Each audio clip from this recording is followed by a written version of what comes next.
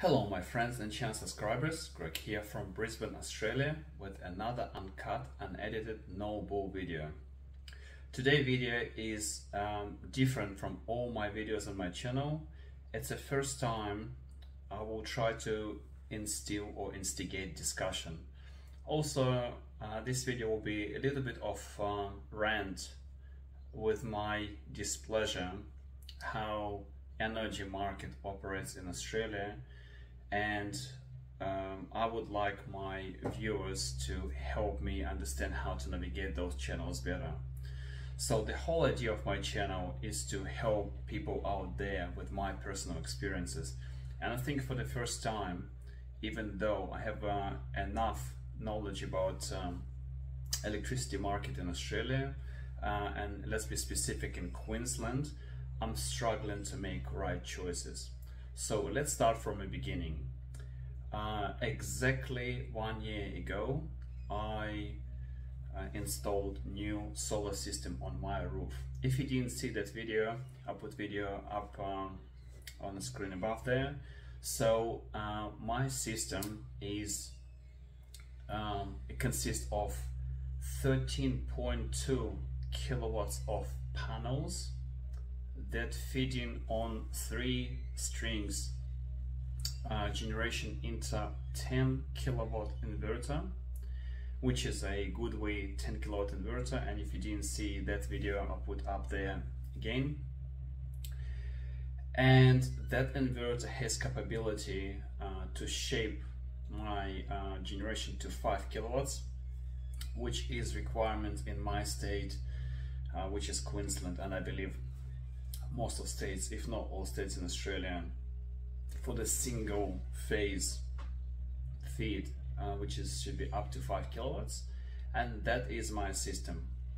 So I spent quite considerate amount of money for my system and if you would like to know details please uh, direct message me through YouTube or other means I just don't want to publish any details um, here because I may upset some installers and may um, promote my installer which I've got no affiliation with and I don't want to do so unless they wish um, to collaborate with me in some sort of way.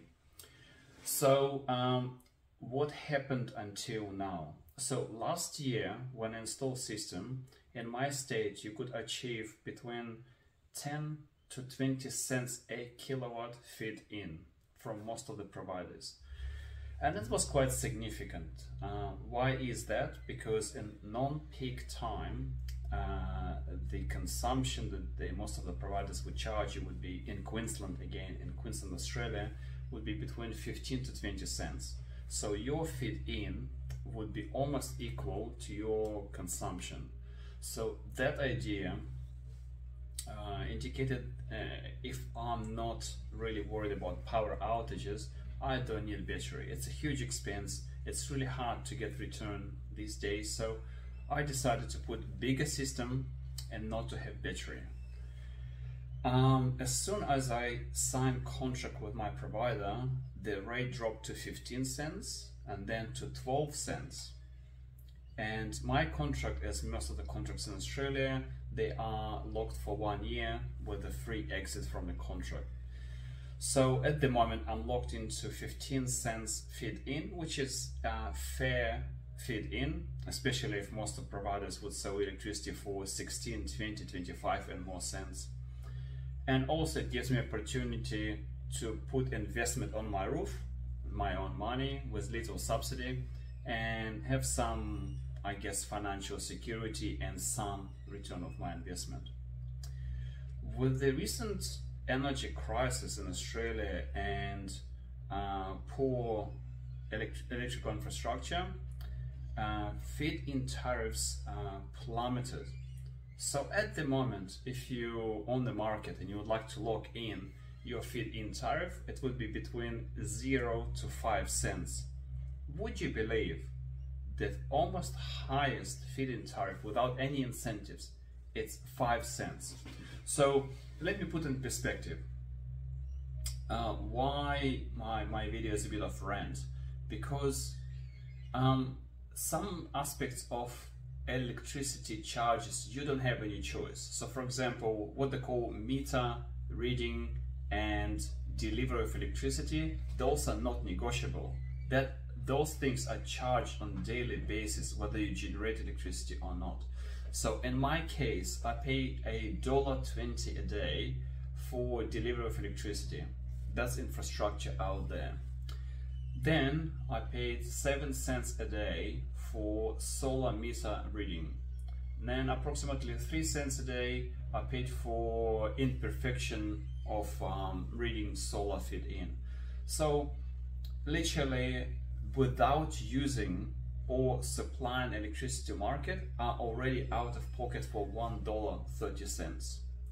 So at night time, because I don't have battery, uh, I, I basically consume electricity and they know it and they charge you more for that time. So let's say I'm trying to be more conservative at night time and my electricity consumption um, varies between 4 to 6 kilowatt, which is put us up to, um, I don't know, um, another 70 cents.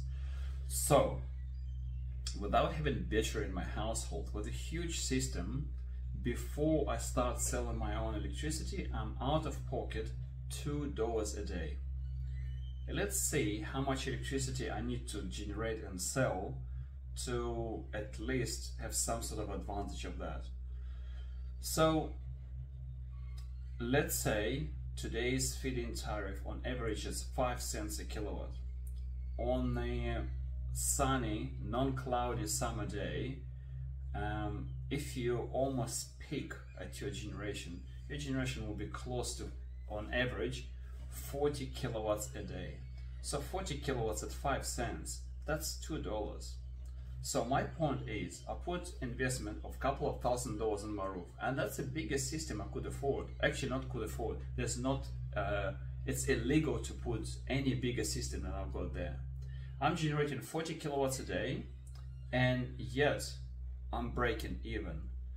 So uh, my rant is, if our government um, trying to encourage us to go green to help environment and to put our money as an investment because they're not investing in other means enough to generate electricity what is incentive to me as a citizen in 2022 to put solar on a roof. Uh, i would say if i would need to put solar on today um, i don't think i would.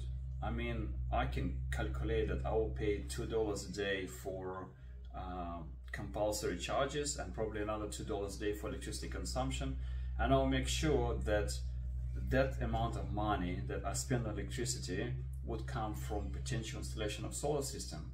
And you know, if you think of this, it will be just break even. So why do I need to deal with installers and quotes and put my money that could invest somewhere uh, and put on the roof um, of my house to I don't know forward. So I'm just a little bit frustrated because uh, most of the people trying to help environment, try to do right thing, also trying to secure their own um, bills, electricity bills, and yet uh, there is no environment or condition from other regulators or government or whoever to give us any incentive to do so. So what is the uh, point of this trend? Um, at the moment, um, I was trying to go through all options on the market. And again, I'm from Brisbane, Brisbane, Queensland. In Queensland, what I can find without any incentive, because I'm not uh, eligible for any incentive, the best offering come from AGL. What they're offering? They're offering to pay 14 cents a kilowatt feed in for first 10 kilowatts and then five cents after that. So that, that that's the best offer I could find.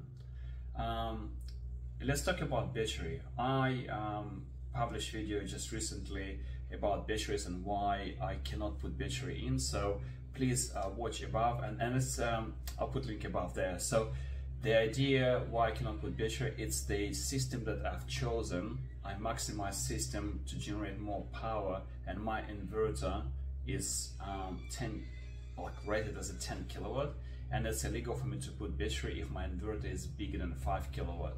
even though I shape my fit into 5 kilowatt in the system uh, kind of definition my inverter is 10 kilowatts. I'm not sure how they do this but anyway I cannot put battery on. So what I'm asking my viewers is can you please um, help me to understand if I'm missing something? If there is a better offering on the market for people like me that trying to feed in electricity do you find any better ways to at least break even or even I guess earn some money back on the investment that you put on your roof. So um, I, I believe there's no right or wrong opinion about this. I have to make my uh, my mind in next I think week and a half because my um, contract with AGO finishes uh, I think in a week and a half. So I'm kind of pressed on time but um, I can see there's a quite significant engagement on my channel about electricity prices, and inverters, solar panels. So uh, here's an open question. What should I do with system that I've got on the roof? What options do I have? What would you do in my in my shoes? If you have a big system, no ability to put battery and frustrated with fit in. Well, thank you so much for watching. Uh, please feel free to comment, subscribe, and um, I don't know, maybe even describe your story, where you're at. I would appreciate everything. Thank you so much for watching. Greg from Brisbane, Australia. Until next time.